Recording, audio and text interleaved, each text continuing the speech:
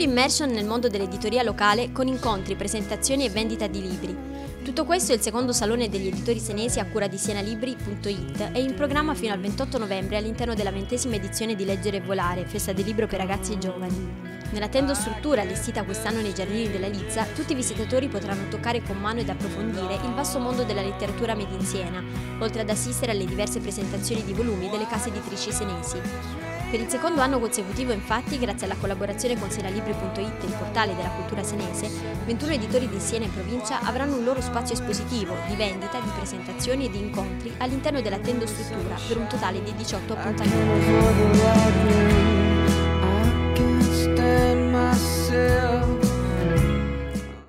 Nel secondo salone appunto del, degli editori senesi sono eh, presenti ben 21 eh, sigle editoriali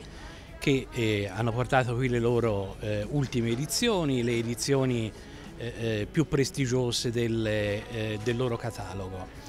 e quindi sono esposti e si possono acquistare anche con il dovuto sconto. E inoltre lungo l'arco eh, di tutta l'iniziativa di leggere e volare, ogni giorno eh, ci sono il, iniziative legate a presentazione di libri o comunque eh, connesse diciamo, al, a libri e pubblicazione della editoria locale.